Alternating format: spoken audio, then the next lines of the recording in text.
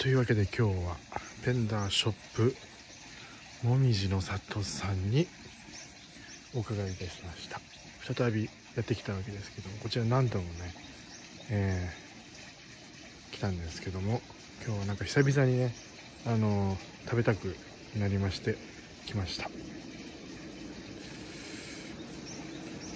でこちらなんですけどねあの、隣がうどん屋さんなんですでそのうどんの麺を使用してのうどんの自販機で。で天ぷらもねこちらの方で揚げて出している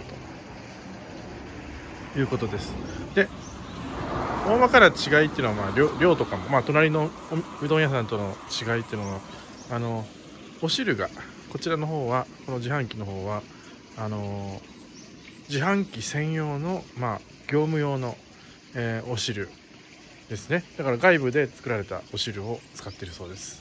で隣はお汁は自家製だそうです。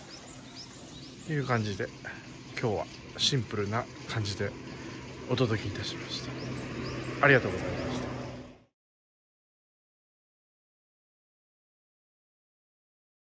この動画をいいと思ったらグッドボタン。悪いと思ってもグッドボタンチャンネル登録もよろしく。スピチューブインスタグラム始めました。お得な情報プレゼント企画はこちらから。フォローよろしくお願いします。